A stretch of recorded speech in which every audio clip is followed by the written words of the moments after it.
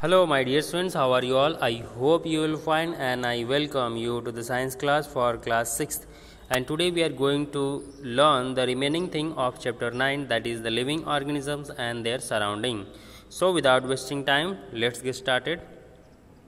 But before proceeding today's class, let's quickly revise what we have learned so far. So, we have learned different habitat of different uh, uh, animals, okay, like desert of camel, burrow of rabbit, grassland of uh, giraffe, similarly aquatic habitat, then earthworm, then the arboreal habitat, then again water habitat, okay, aquatic habitat. Then we learned about uh, what is the habitat, okay, it's the place where the living being living beings lives that is called the habitat, okay, yes. So we compare two habitat, like one we compared uh, lake habitat with forest habitat okay so we saw that the animal or the living organism found in lake they cannot survive in forest and the forest animals or plants they cannot uh, live in uh, uh, lake. Okay yes. Then we saw the adaptation found in camel. Okay the next we saw the adaptation found in cactus. So these two adaptation are found in desert. That means the where water is very less then we saw the different type of habitat. That is one thing one is the terrestrial habitat and other is the aquatic habitat. Okay. So terrestrial means the land so animal and plants those who live on land those are called terrestrial habitat. And the animal and plant those live in water. Water those are called aquatic habitat. Okay. Now again this land habitat can be divided into three things. That is desert grassland and mountain and the aquatic can be again divided into three that is ocean pond and lakes. Then we saw the types of plant depending upon the requirement of uh, uh, or the need of uh, water okay? So if the plant are living totally in water so they will be called as a hydrophyte okay?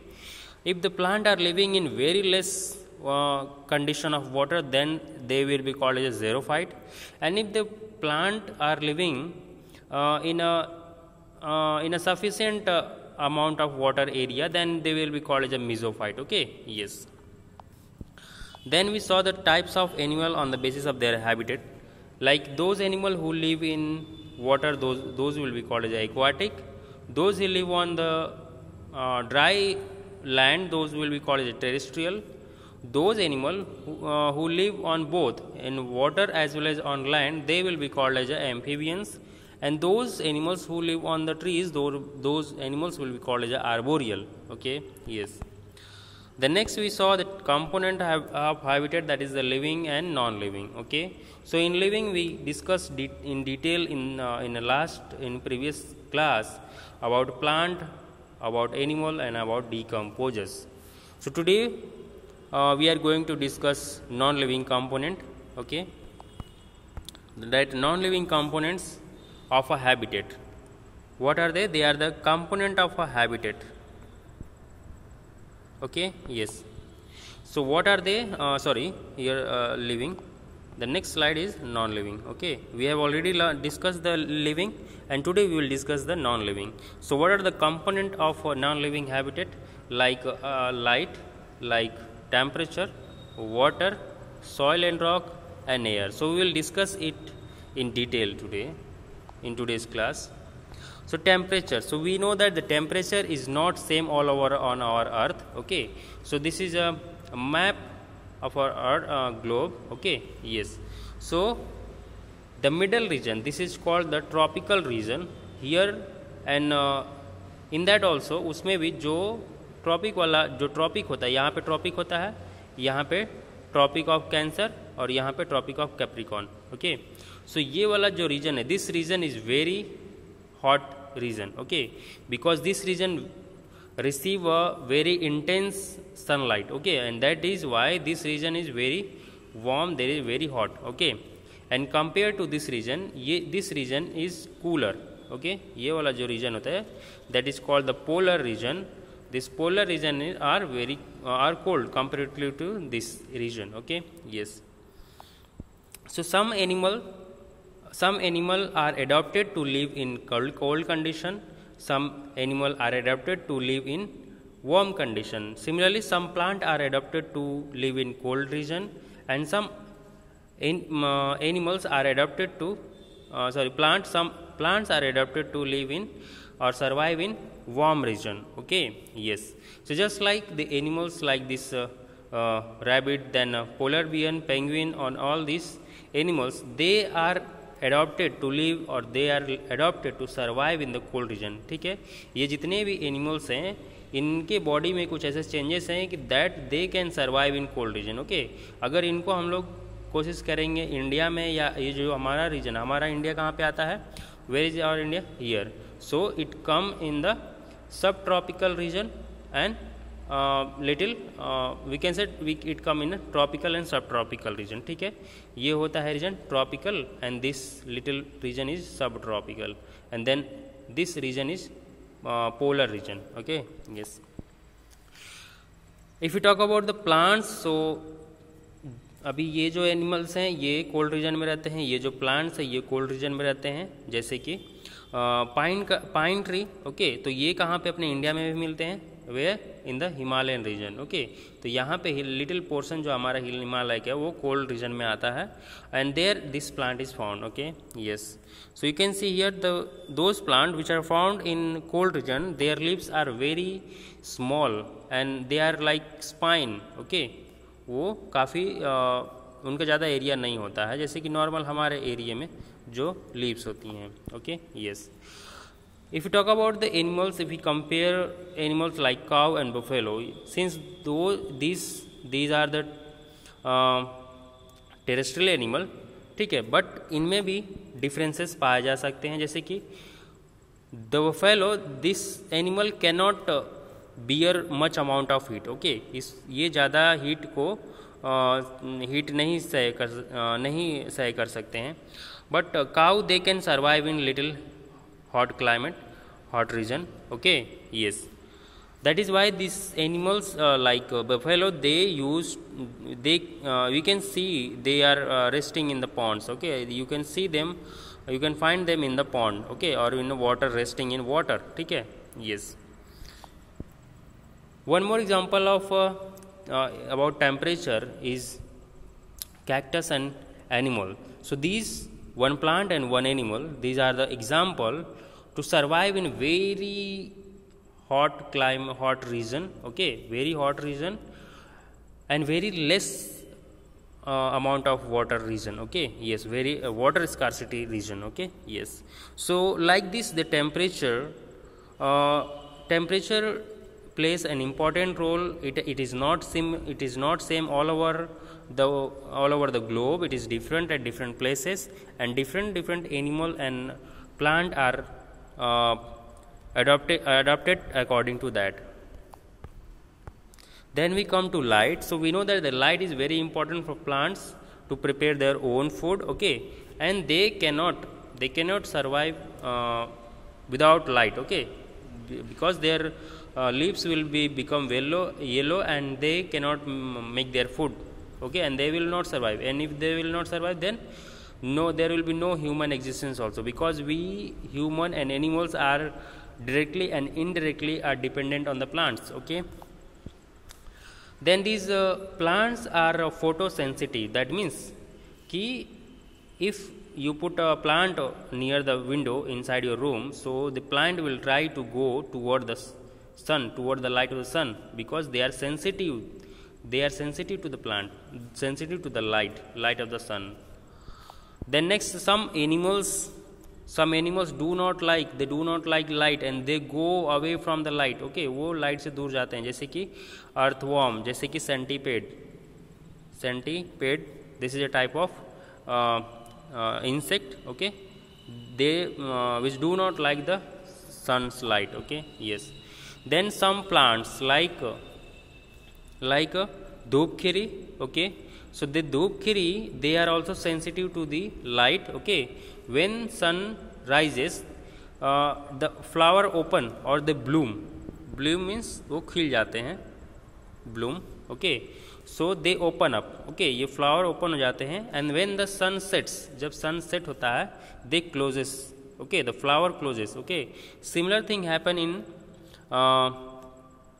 bauhinia plant okay B A H U N I A बहुनिया plant इसमें क्या होता है that the leaves leaves are sensitive to the light okay when the sun rises और in the day time the leaves are open and in the night time when the when there is no light then this leaves fold down okay yes some some same thing happen in the aquatic uh, animals and plants also some animals and plants they they like light and they try they used to be found on the surf uh, near the surface of the water okay and those who do not like light they are found very far away from the surface okay surface से काफ़ी दूर काफ़ी नीचे वो जो वो animals और plants होते हैं जो सन के लाइट को लाइक नहीं करते हैं okay yes then water so we know that water is very important very essential that is why water is found on the earth and that is why the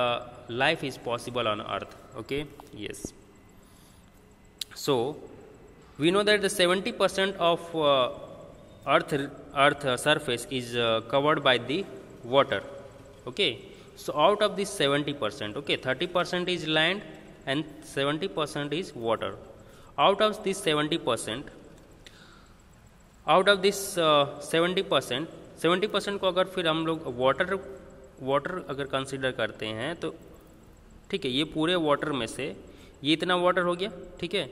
ये पूरे वाटर का जो 97 percent है, यानी लगभग पूरा ही, थोड़ा सा छोड़ के पूरा this water is saline water that is the oceanic water okay जो ओशन में होता है, वो वाटर होता है।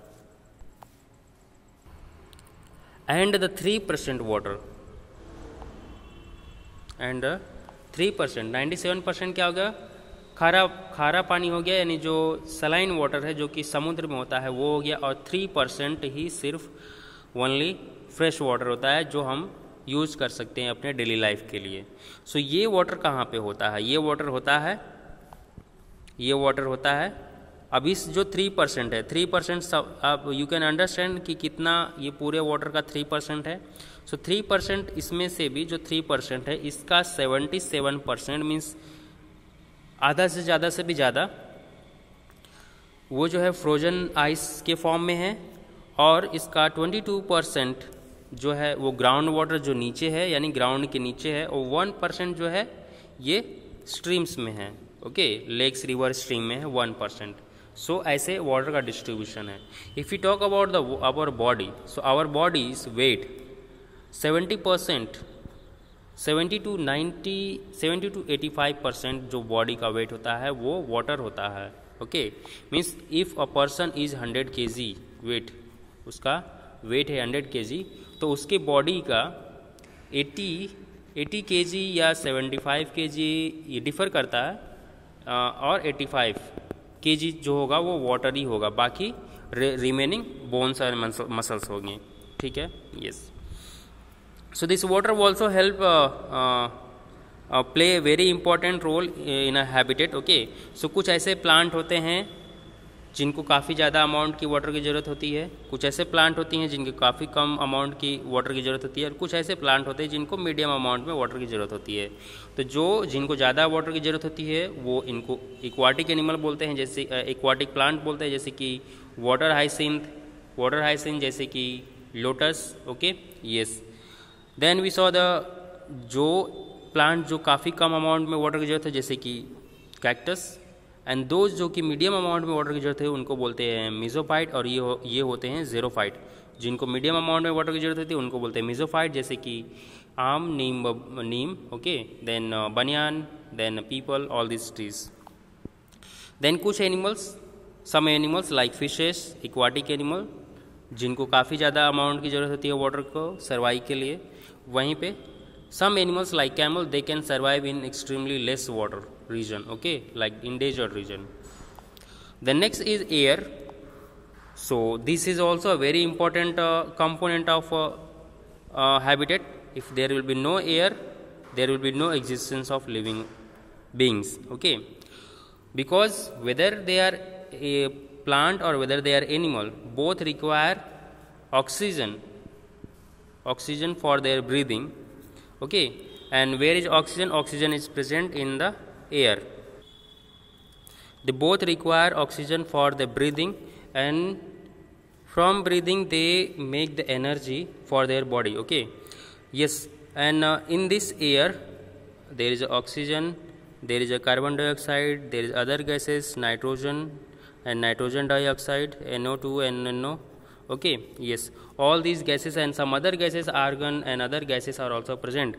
So this oxygen is used for breathing and this CO2 gas is used by the plant for their photosynthesis for making of their uh, food okay? Yes.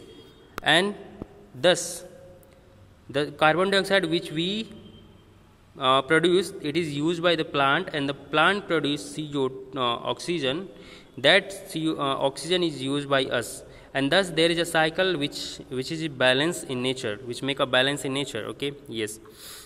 But when this balance uh, disrupt there is a uh, due to the disruption of this balance due to increase in the number of CO2 so there is a uh, there is a condition of global warming okay? Then this air when it is blow fast that is called wind. And this wind help in the dispersal of uh, seeds. Uh, this wind also um, cause the spread of many disease. This wind hell uh, this wind cause many time destructions. They uproot uh, they uproot the many trees. And that is why there is adaptation of some plants uh, leaves of some plant in coastal region like uh, coconut like a palm palm plant and coconut plant. Uh, in that uh, the leaves are incised or they are serrated. Okay? Yes then next is sand and rock. So sand and rock. So sorry sorry soil and rock. So soil we know that the soil is formed with a very long process in a millions of year. Okay yes. So soil has many components like soil particles like uh, in a soil. Okay if this is a soil so what this soil contain? It contain a rock particles it contain water it contain air it contain leaves. Okay yes so if you have a sample of uh, soil okay and without soil also there is a there will be no existence of uh, li living beings okay. Without soil there is no possibility of living beings okay. Because without soil there will be no plants and because if there will be no plant there will be no human though no animals okay. Yes. So if you uh, if you collect a sample of soil and if you put in water in a beaker so you will see that the bigger particles that is sand particle and stone they will be settled at the uh, bottom. Then sand the little one then the little one then the little one and then the little one okay? So you can see here the order okay? The first will be small stones then sand then silt then clay then water and then the humus okay? Yes so that's all for today. Here you have some question uh, try to attempt it okay? Explain non-biotic component or abiotic component of a habitat okay? So just write few words about each component of a uh, this abiotic component of a habitat okay? Yes so thank you so much. That's all. Keep studying. Bye bye